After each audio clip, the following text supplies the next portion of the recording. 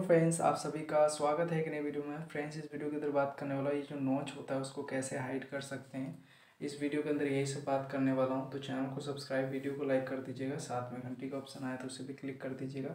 तो चलिए शुरू करते हैं, जानते हैं स्टेप बाय स्टेप सबसे पहले आपको क्या करना होगा? सेटिंग में जाना होगा। तो ये रहा सेटिंग सेटिंग में जाने के बाद इस तरीके का इंटरफेस दिखेगा। तो उसके बाद आपको शुरू से थोड़ा सा ऊपर करेंगे तो डिस्प्ले का ऑप्शन आ जाएगा। इस पर क्लिक करना है आपको। क्लिक करने के बाद थोड़ा सा ऊपर करना है और यहाँ पे आपको देखने को मिला नॉच स्टेटस बार तो इस पर क्लिक करना है। क्लिक करने के बाद हाइट नॉच का ऑप्शन दिखेगा तो इस पर क्लिक करना है। और यहाँ से आप इस पर क्लिक करेंगे तो आप पर नॉच हाइट हो गया, आप देख सकते हैं। और इस पर क्लिक करेंगे तो यहाँ पे नॉच शो होने लग गया।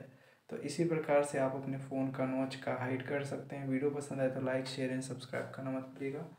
मिलते हैं ऐसे इंटरेस्टिंग वीडियो के साथ। तब तक के लिए नमस्कार and goodbye take care आप देख सकते हैं मेरा नॉच हाइट हो गया।